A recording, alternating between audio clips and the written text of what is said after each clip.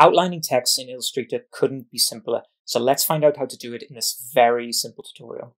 First thing you need to do, come to your type tool and simply type out the text that you want. Then use the direct selection to make it as big as you want, and I will align this to the artboard accordingly. So right now, as you can see, this is in a state of text. So what I'm going to do first, I'm going to make a duplicate of this. So I've got a copy, hold Alt, drag that off the screen. And then finally then, using the selection tool, simply highlight the text, right click, create outlines. And now this has gone from a state of type to simple paths that I can do anything with in Illustrator. Next thing I want to do then is right click, ungroup, and that now means I can address these letters individually.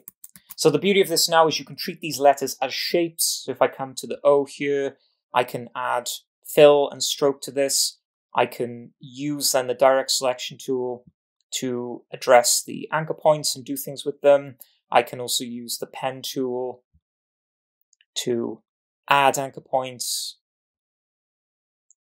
delete anchor points, and basically then do anything that you would want to do with shapes and paths in Illustrator.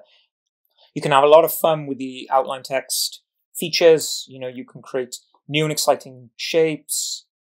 You can create logos, artwork, anything you want. And then the beauty of it is then, if you want to go back to the original type, you've always got this type editable option here to go back in with the type tool, change the text, and then you can kind of re, re outline it if you want them. So there you have it. Guys, it is that simple to outline text in Illustrator. And remember, create a duplicate of the original type file so that if you ever want to go back to an editable type version, you've still got that on your canvas. Hope you enjoyed this tutorial. Hope it was helpful. If you liked the video, uh, please subscribe to the channel, turn on notifications, like the video, and let me know of any other things you want to do in Illustrator or other Adobe software in the comments. Until next time, keep on designing and I will see you for the next tutorial. Thanks for watching.